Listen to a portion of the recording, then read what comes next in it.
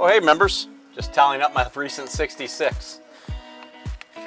As you see, I'm here in our new uh, fleet from E-Z-Go. Uh, we're happy that we have a new turnover in golf carts after uh, a long four years with our previous fleet. Now, mind you, we're only halfway there. We have 76 of our 140. So we're still missing uh, about 64 carts, a little more over halfway. So bear with us if you still get the occasional old cart. They still work, maybe for only 18 holes, but these bad boys are gonna go 27, 36 with the lithium batteries. We love that. We still got our 5G uh, GPS unit, touchscreen, same thing that carries over. Um, so we still have that feature. We still have the speakers. We uh, had them raised a little bit, so if your foot goes up on the dash, um, be careful, uh, but at least it's higher up than in the past. New cup holder system, uh, cell phone system, love it. Um, probably the best feature again is that lithium battery for uh, how quickly they're gonna charge and run. But I think the feature you're really gonna enjoy, the cushy seats. They hug you. We love it.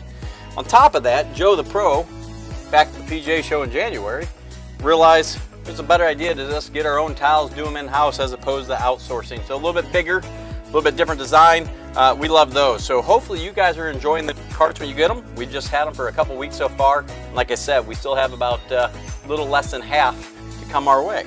So normally I'm pushing product on you, um, but today I'm pushing the new cart system, new fleet. We love it.